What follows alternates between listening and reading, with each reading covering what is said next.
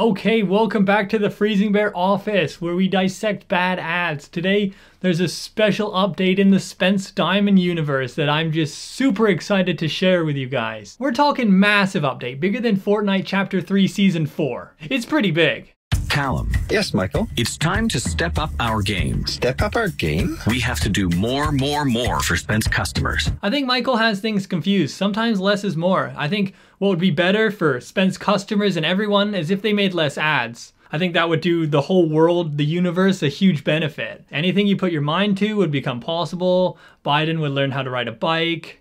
World hunger would go away. Everybody would get an Amazon Prime subscription. It'd just be good times all around. But Michael, more engagement ring customers are buying from Spence than ever before. And we're selling more big anniversary diamonds than ever before. And customers are delighted with our selection of Earth diamonds. And they are ecstatic over our selection of created diamonds. And they are overjoyed with our prices. Did you hear that, Michael? Did you hear that, Michael? Michael's like, okay, goddammit, I get the point. I'm sorry I brought this up. It was just a thought. I guess you guys are just completely in tune to everything going on in Spence Diamonds. You guys just know everything about it. Yeah, I'll, I'll shut up, okay? But Michael, our stock price is already up 20%. We've already surpassed our one year target estimate. Have you been paying attention to anything this company's been doing?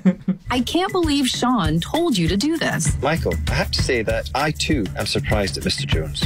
Yeah, Michael, we're not mad. We're just severely disappointed that you'd question your two best employees' performance. We set up illegal work camps in Ecuador to mine diamonds for this company. We smuggled diamonds across the border in our teeth, Michael, for this company. That's how committed we are. And yet, after all that, you still question whether the two best employees working here are committed enough. So they're rightly pissed off at, you know, Mr. Jones and Michael for just completely undermining their loyalty, you know? Michael and Sarah have been through everything. They've had to change their identity six times. They had to keep their secrets hidden deep within them. When they're watching Blood Diamond with the family, they have to just kind of laugh it off. Then we find out the twist. The reason why Michael is so anxious right now is because he's bought the company and has absolutely no idea how to run a company and is just freaking out.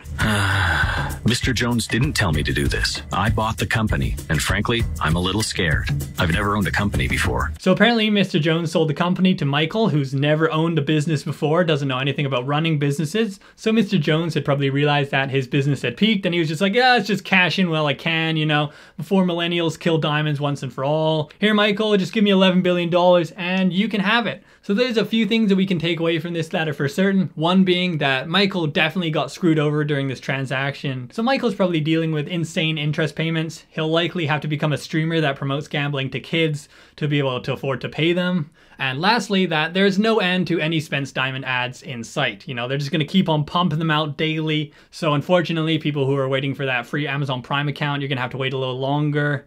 And of course, you know, world hunger is still going to be a prevalent issue affecting millions of people each day. Don't worry, Michael. We won't let you down. We have all kinds of exciting new things on the drawing board. Don't worry, Michael, we won't let you down.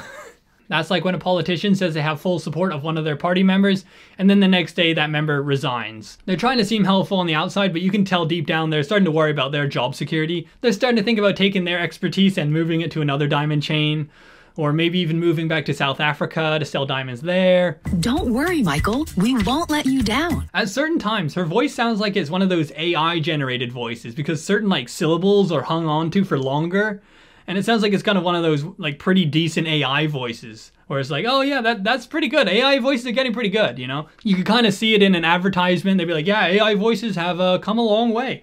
You know, you take the Spence Diamond woman, for example. She's been an AI voice this whole time. You didn't even realize. I don't know why I find that so funny, but just that line. Fantastic! In a funny way, there's always one line in a Spence Diamond ad that you can just listen to and it kind of gives you a little bit of enjoyment just hearing it. I don't know. Don't worry, Michael. We won't let you down. Michael, when we are happy and having fun, our customers are happy and having fun. Michael, we're going to teach you how to have fun. Thank you, Callum. Thank you, Sarah. Michael, we're going to show you how to have fun. Have you ever tried to cross the border with $50,000 in cash taped around your stomach? The adrenaline rush is amazing. And Sarah's like, yeah, the only time I've ever felt more of a rush was when I had to take out a diamond cartel leader. You know, I did it on a motorbike. Whew! The rush lasted for weeks. You know, I was just stunned, you know, sitting in the hotel room, laying low, just Michael at this point is starting to question his life choices. He's like, what did I get myself into? I didn't realize this was a cartel. But that's not the only ad Spence Diamond has been pumping onto the airways recently. They're still trying to get you to buy their scuffed up Earth diamonds. So they have an ad going like this Mysterious, with swirling clouds inside. Mysterious, with swirling clouds inside. I'm engaged already. I can't wait to find out what is next. Come to Spence and see a diamond shaped like a kite. Come to Spence and see a diamond shaped like a shield. Come to Spence and see a diamond shaped like a hexagon. Come to Spence and see a diamond that you can't afford. It seems that Spence Diamond has kind of toned down their examples for their diamonds.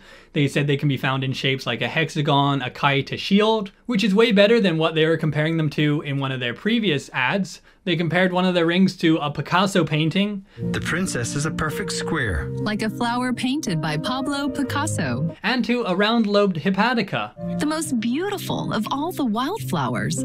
That has to be one of Spence Diamond's worst ads. All their examples were such a stretch. Kind of like me comparing my lens cap to an Olympic gold medal just because it's round, you know? It's round, just like an Olympic gold medal. Just because something has the same shape as another thing doesn't make them similar, which I'm pretty sure most people understand. Even get non-traditional diamonds in traditional shapes. Get traditional diamonds in non-traditional shapes.